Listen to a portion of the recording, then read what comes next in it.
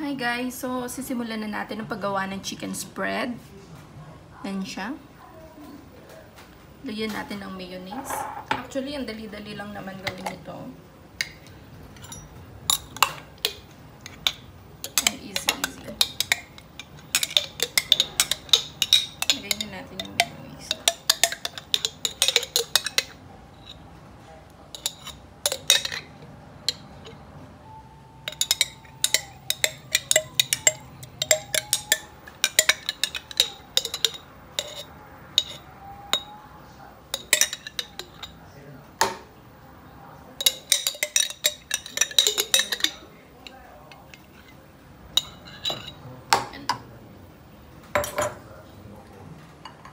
Nalagay natin yung chicken.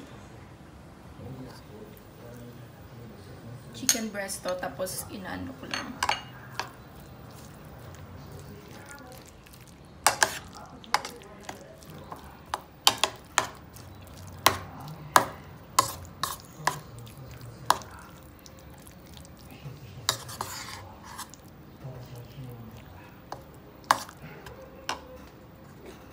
Lagyan natin ng carrots.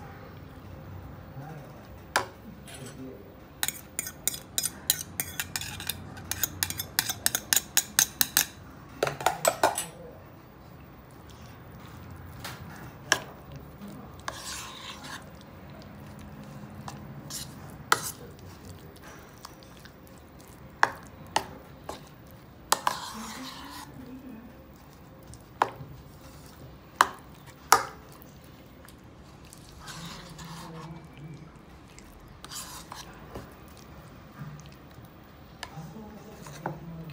onions.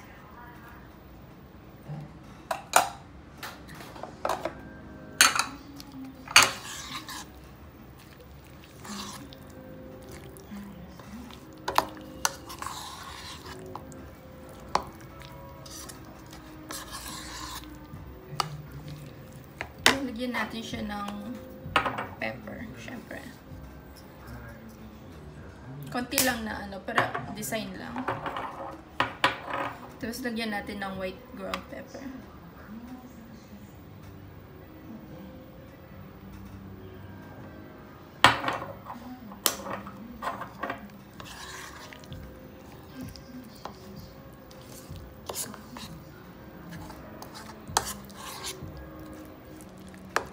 So, ganyan lang siya. Ganito lang akong gumawa ng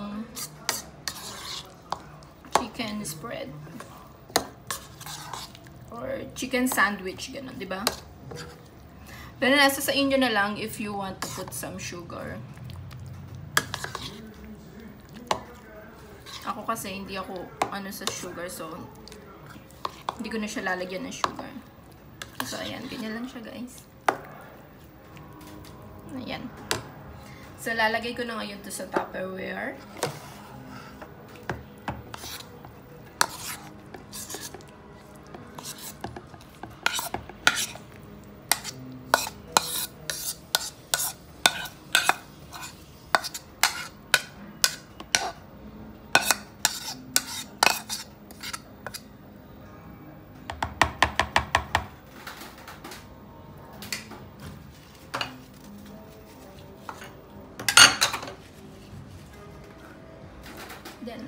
Open natin.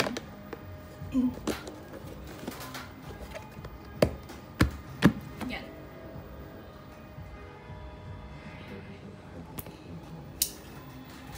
Then, lalagay na natin siya sa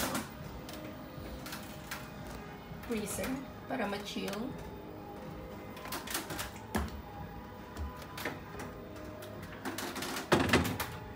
So, ayan. Bukas pwede na siya. Or, mamayang gabi, pwede na yung chicken spread natin. So, ganun lang kasimple. Bye-bye!